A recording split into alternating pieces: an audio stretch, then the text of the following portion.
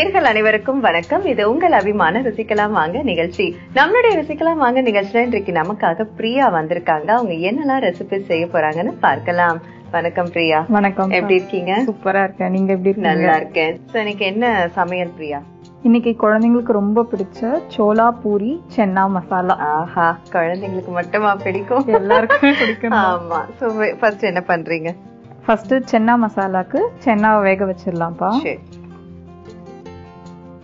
ஏற்கனவே நைட் ஊற வச்சுன சுண்டல.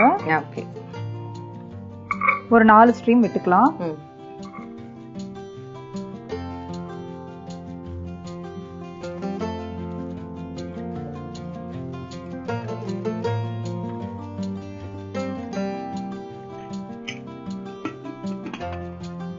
சென்னா வேகறதுக்குள்ள நம்ம மசாலாக்கு தேவையானது எல்லாத்தையுமே ரோஸ்ட் பண்ணி அரைச்சிக்கலாம்ப்பா நான் எப்பவுமே ரெடிமேட் மசாலா போட மாட்டேன்.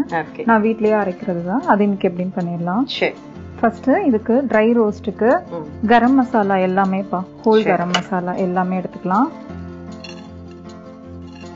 இலையும் சேர்த்துக்கலாம். ஆமா இலை. இதுல என்னென்ன போட்டிருக்கேன்னா பட்டை லவங்கம் ஏலக்காய் அதுக்கப்புறம் அன்னாச்சி மொக்கு பிரிஞ்சி இலை. எல்லா கரம் மசாலா நம்ம என்னென்ன ஐட்டம் யூஸ் பண்றோமோ பிரியாணிக்கு என்னென்ன யூஸ் பண்ணுவோமோ எல்லாமே ட்ரை ரோஸ்ட் பண்ணிக்கலாம் நல்லா.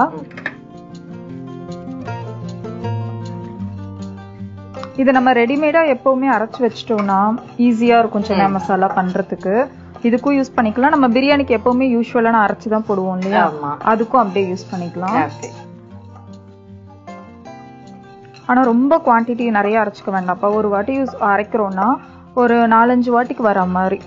ஏன்னா ரொம்ப நம்ம இதை ரோஸ்ட் பண்ண மாட்டோம். ஸோ சீக்கிரம் பூச்சி வர அதுக்கு ஒரு டூ வீக்ஸ்க்கு வர மாதிரி. அதுல எத்தனை வாட்டி நம்ம சமைப்போமோ அதுக்கு ஏத்த மாதிரி குவாண்டிட்டி போட்டு அரைச்சு வச்சுக்கலாம்.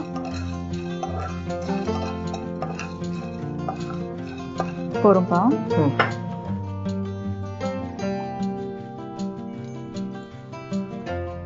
இப்போ சிகப்பு மிளகாய் எடுத்துக்கலாம்ப்பா. நான் இதுல காரமும் தனியா சேர்க்க போறேன். சரி. இதுல வாசனைக்கு சும்மா ஃப்ரெஷ்ஷா நம்ம அரைச்சு போட்டோம்னா நல்லா இருக்கும். அதுக்காக சும்மா ரெண்டு மட்டும் போட்டுக்கிறேன்.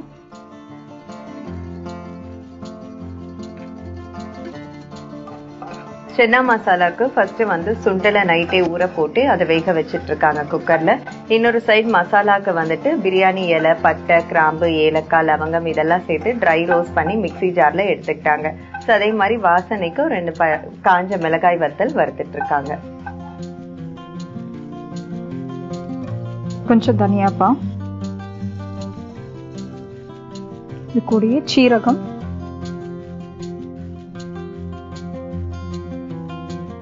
சோம்பு.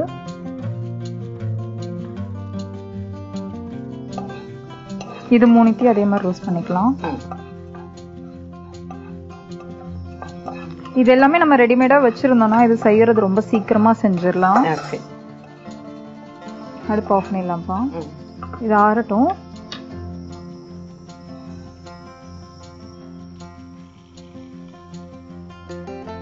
அதுக்குள்ள மாவு பிசைஞ்சுக்கலாம். இது சோளா பொரிங்கிறதுனால இன்னைக்கு நான் ஃபுல்லாவே மைதா மாவுல தான்ப்பா செய்ய போறேன். ஓகே. விருப்பம் இல்லாதவங்க வேணா கோதுமை மாவு இல்ல பாதி மைதா பாதி கோதுமை அப்படி கூட எடுத்துக்கிட்டோம்.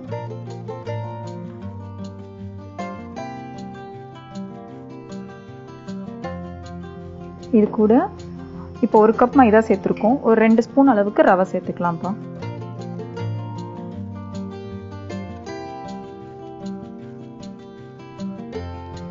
கொஞ்சமா உப்பு சர்க்கரை கொஞ்சமா. இது முதல்ல கலந்துக்கலாம்.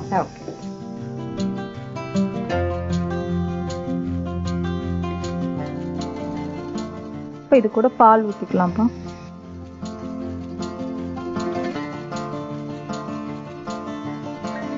போ.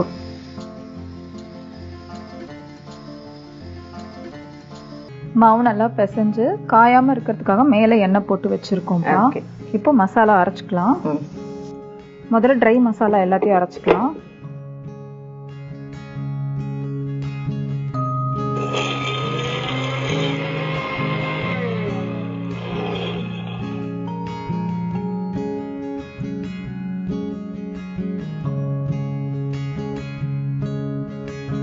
நல்லா நைஸா அரைச்சு வச்சுக்கலாம்ப்பா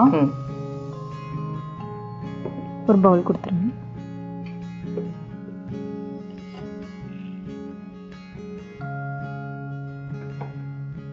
இப்போ சென்னா மசாலாக்கு தேவையானது நான் எப்பவுமே அரைச்சுதான்ப்பா போடுறது. ஸோ முதல்ல கொஞ்சம் வெங்காயம் எடுத்துக்கலாம். ஒரு ரெண்டு வெங்காயம் அளவுக்கு எடுத்துக்கிறேன். நான் தனித்தனியா எப்பவுமே அரைப்பேன். ஓகே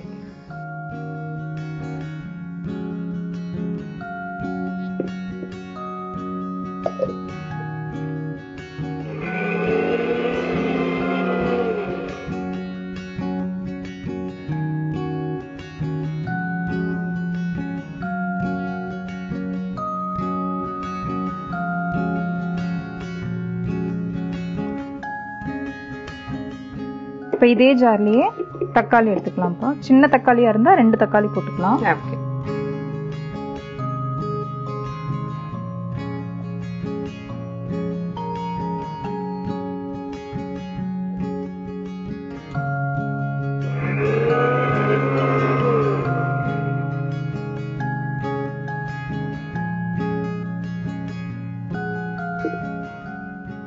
தக்காளியும் அரைச்சு வச்சிட்டோம். அடுத்து நான் முந்திரி யூஸ் பண்ணுவேன்ப்பா முந்திரியை கொஞ்ச நேரம் ஊற வச்சு வச்சிருக்கேன். ஓகே இதை நல்லா பேஸ்டா அரைச்சிக்கலாம். இது இன்னும் ரிச்னஸ் கொடுக்கும். டேஸ்ட்டும் டிஃப்ரெண்டா இருக்கும். நம்ம சாதாரணமா சாப்பிட்றத விட.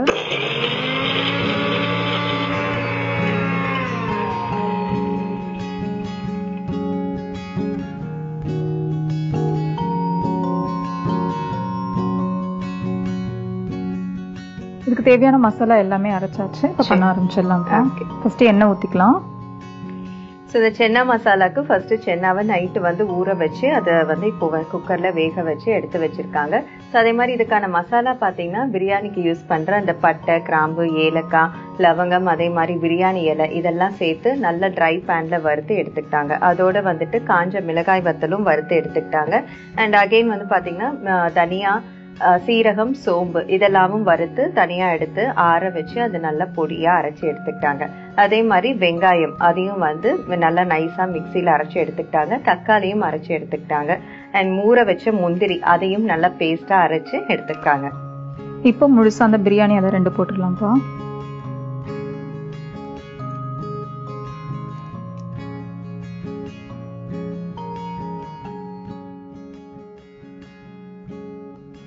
முதல்ல அரைச்சு வச்ச அந்த வெங்காயம் போட்டுக்கலாம்.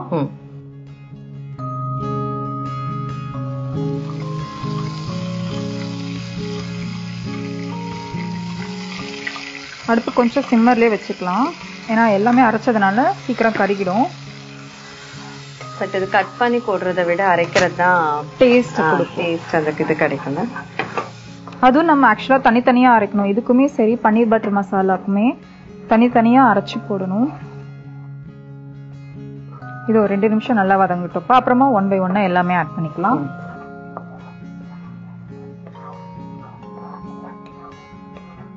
இப்போ இது கூட தக்காளி ஆட் பண்ணிக்கலாம்ப்பா.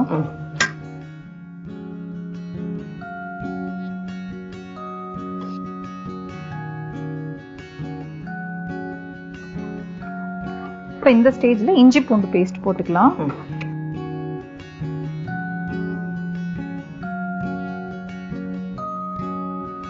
எண்ணெய் காஞ்சதும் ரெண்டே ரெண்டு பிரியாணி இலை போட்டாங்க. அதுக்கப்புறம் அரைச்சி வச்ச வெங்காயம் அரைச்சி வச்ச தக்காளி இதெல்லாம் சேர்த்து நான் வதக்கிட்டு இருக்காங்க.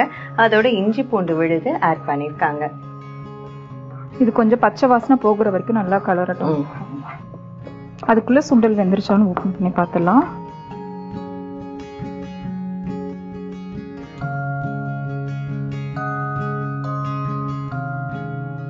சுண்டலும் நல்லா வெந்திருக்குப்பா இது நல்லா கொஞ்சம் ராஸ்மெல் போற வரைக்கும் வதங்கட்டும். இது இன்னும் திக்காகிறதுக்கு நாங்க என்ன பண்ணுவோம்னா நம்ம வேக வச்சு வச்சிருக்கோம்ல சுண்டல் அதை கொஞ்சம் எடுத்து அரைச்சு விட்டோம்னா நல்லா திக்கா இருக்கும். ஏற்கனவே திக்காகிறதுக்கு தான் நம்ம முந்திரி. சேர்த்திருக்கோம் டேஸ்ட் என்ஹான்ஸ் பண்றதுக்கு. இது இன்னும் டிஃப்ரெண்டான டேஸ்ட் தரும். ஓகே. சும்மா கொஞ்சமா எடுத்தோம்னா போதும். எப்பவுமே நம்ம பண்ணும்போது கூட ரொம்ப தண்ணியா ஆயிடுச்சு கிரேவி அப்படின்னு நீங்க நினைச்சீங்கன்னா நம்ம வேக வச்சிருக்கோம்ல சுண்டல் அதை கொஞ்சம் எடுத்து அரைச்சு போட்டோம்னா திக்காயிடும் நல்லா Okay. கன்சிஸ்டன்சி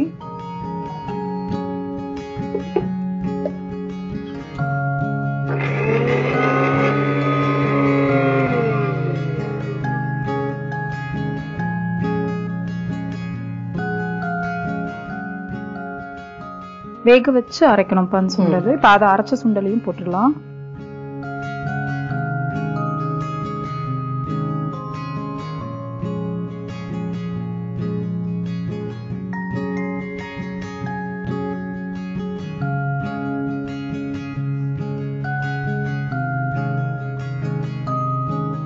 இப்போ நம்ம மர அரைச்சி மசாலா எல்லாம் போட்டுக்கலாம்ப்பா. ட்ரை மசாலா எல்லாமே. முதல்ல சென்னா மசாலா போட்டுக்கிறேன். இதுல காரம் அவ்வளவா இருக்காது. ஏன்னா நம்ம சும்மா வாசனைக்காக தான் போட்டது. சிகப்பு மிளகாய் தூள்ப்பா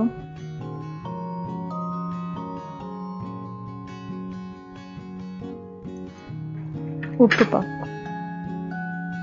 இப்போ நம்ம வேக வச்சிருக்கோம்ல சுண்டல். தண்ணியோட அதை போட்டுடலாம். சரி.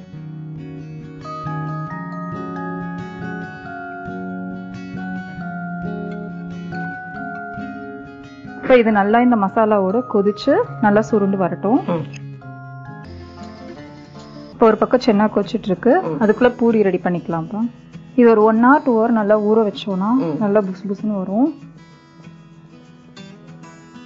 ஸோ இந்த சோளாபூரி மாவு பார்த்தீங்கன்னா மைதா மாவு எடுத்துக்கிட்டாங்க. ரெண்டு ஸ்பூன் அளவுக்கு ரவை எடுத்துக்கிட்டாங்க. தேவையான அளவு உப்பு சேர்த்தாங்க. சர்க்கரை கொஞ்சமா சேர்த்துக்கிட்டாங்க.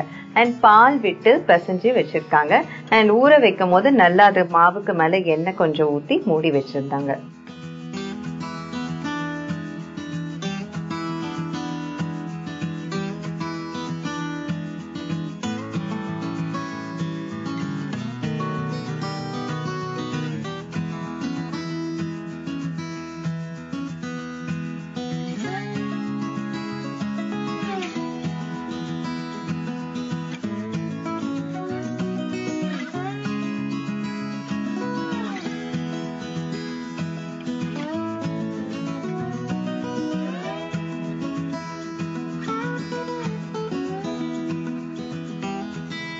ஸோ கடையில் அந்த சைஸுக்காகவே பார்ப்போம் ஆசையா?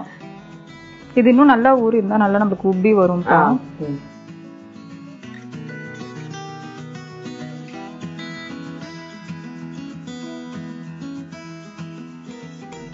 சென்னாவுமே ரெடி ஆயிடுச்சு.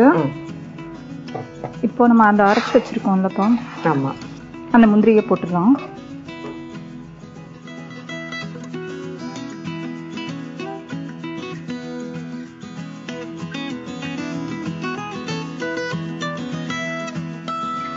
அவ்வளவுதான்ப்பா முந்திரி போட்டு இறக்கிற வேண்டியதுதான்.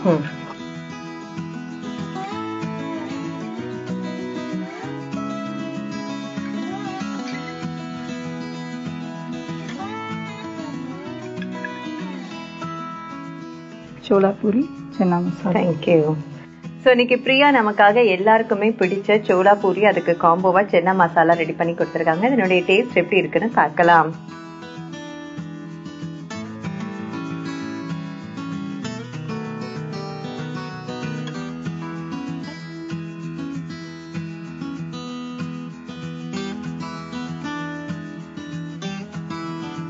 பிரமாதம் பிரியா. சென்னா மசாலா நம்ம ரெஸ்டாரண்ட்ல சாப்பிடுற அதே டேஸ்ட்ல நீங்க செஞ்சு கொடுத்துருக்கீங்க. சோ எல்லாருக்குமே வந்து அந்த ஃபார்ம்லா தெரியாது. எல்லாரும் யூஸ்வலா அப்படியே போட்டு வதக்குவாங்க நிறைய பேரு. அண்ட் அந்த மசாலாவுமே பாத்தீங்கன்னா இப்போ ரெடிமேட் வர்றதுனால போட்டு மிக்ஸ் பண்ணுவாங்க. பட் வீட்லயே எப்படி ஹெல்த்தியா பண்றது அப்படின்னு சொல்லி கொடுத்தீங்க. ஸோ அது மாதிரி சோளா பூரி இன்னும் நீங்க சொன்ன மாதிரி ஊற வச்சிருந்தோம்னா இன்னும் நல்லா பஃபியா கிடைச்சிருக்கும். இந்த காம்போ வந்து வெளியே சாப்பிடுற ஃபீல்ட்ல இருக்கு. தேங்க்யூ ஸோ மச் தேங்க்யூப்பா சென்னா மசாலா செய்வதற்கு தேவையான பொருட்கள் கொண்டைக்கடலை எண்ணெய் ஏலக்காய் பிரியாணி இலை கிராம்பு பட்டை லவங்கம் மிளகாய் வத்தல் தனியா சீரகம் சோம்பு வெங்காயம் தக்காளி முந்திரி உப்பு. சென்னா மசாலா செய்யும் முறை. குக்கரில் ஊற வைத்த கொண்டக்கடலையை தண்ணீர் ஊற்றி வேக வைக்கவும். பிறகு வானலியில் பட்டை கிராம்பு ஏலக்காய் பிரியாணி இலை சேர்த்து நன்கு வறுத்து தனியாக எடுத்துக்கொள்ளவும் அதே வானலியில் மிளகாய் வத்தலையும் வறுத்து எடுத்துக்கொள்ளவும் பிறகு மல்லி விதை சீரகம் சோம்பு சேர்த்து வறுத்து தனியாக எடுத்துக்கொள்ளவும் பிறகு மிக்சியில் அனைத்து பொருட்களையும் அரைத்து எடுத்துக்கொள்ளவும் பிறகு வெங்காயத்தையும் அரைத்தெடுக்கவும். அதேபோல் தக்காளியையும் அரைத்து தனியாக எடுத்துக்கொள்ளவும். பிறகு ஊற வைத்த முந்திரியையும் அரைத்தெடுத்து கொள்ளவும். வானலியில் எண்ணெய் ஊற்றி எண்ணெய் காய்ந்ததும் பிரியாணி இலை சேர்த்து நன்கு பொரிந்த பிறகு அரைத்த வெங்காயம் தக்காளி இஞ்சி பூண்டு விழுது சேர்த்து நன்கு வதக்கவும். பிறகு வேக வைத்த சென்னாவில் சிறிதளவு எடுத்து மிக்ஸி ஜாரில் அரைத்தெடுத்து கொள்ளவும். பிறகு அரைத்த சுண்டலையும் சேர்த்து நன்கு கிளறவும். இதோடு அரைத்து வைத்த கரம் மசாலா மிளகாய்த்தூள் உப்பு வேக வைத்த சென்னா சேர்த்து சிறிதளவு தண்ணீர் ஊற்றி கொதிக்க விடவும். நன்கு கொதி வந்ததும் அதில் அரைத்த முந்திரி விழுதையும் சேர்த்து கிளறி பரிமாறினால் சுவையான சென்னா மசாலா தயார். சோளா பூரி செய்வதற்கு தேவையான பொருட்கள் மைதா மாவு சர்க்கரை ரவை உப்பு பால் எண்ணெய்.